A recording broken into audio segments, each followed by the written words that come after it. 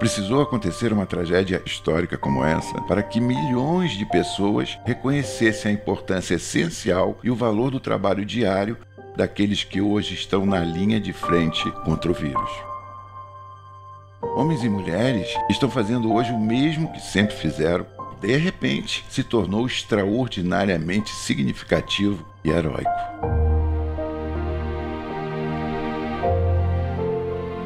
Acredito que, antes de dizer obrigado, muito obrigado, devemos fazer algo muito mais importante e difícil: pedir desculpas. Somente com pedido de desculpas podemos expressar nossa sincera gratidão.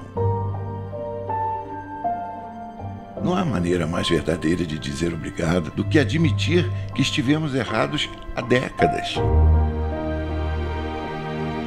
para que isso não aconteça novamente.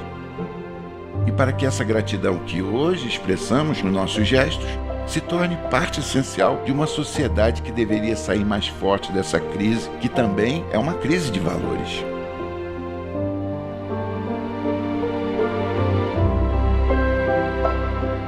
Se aprendermos com nossos erros, provavelmente melhoraremos.